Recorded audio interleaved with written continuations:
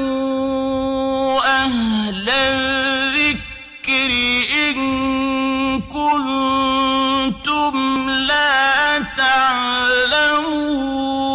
تعلمون রহমতুল্লাহ বারাকাত তালাক কেন দিতে হয় আহ, তালাক হচ্ছে ইমার্জেন্সি গেট যখন একেবারে জীবন দুর্বিষহ হয়ে ওঠে স্ত্রী দুশ্চরিত্রা হয় কিংবা অবাধ্য হয় কথা শোনে না আহ, তখন তালাক দিতে হয়। যখন দুশ্চরিত্রা হয়, তখন বোঝানোর পরও যদি না বুঝে, আমাদের ইসলামের যে স্টেপ বাই স্টেপ আছে সালিশ সভা করা হলো তাতেও লাভ হলো না, তখন তাকে তালাক দিতে হবে। তালাক দেওয়া তখন জরুরি হয়ে যাবে।